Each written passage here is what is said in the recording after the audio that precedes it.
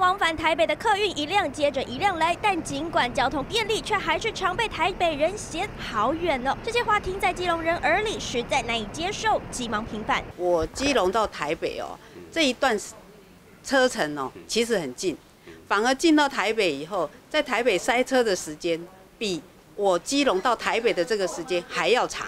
有网友 po 文抱怨，身为基隆人最讨厌台北人说我住好远，因为明明到台北市区不用半个小时，比起塞在市区或是到林口，时间都相对缩短。实际比较，如果搭乘客运从基隆到台北大约四十分，火车则是约四十五分。如果开车行驶国道一号从基隆到台北市区只需要二十五分，到内湖更是便利，十五分钟就能抵达。像我们这里到南港也好，我们到呃，戏子也好，其实大概就是花个十五分钟、二十分钟，其实就可以抵达。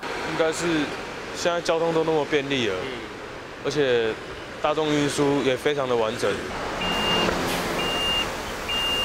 遭误认偏远地区，基隆人急忙平反，就是希望民众能彻底改观，不是不常去的地方，就是远的要命的王国。记者朱丁荣、魏文轩，基隆报道。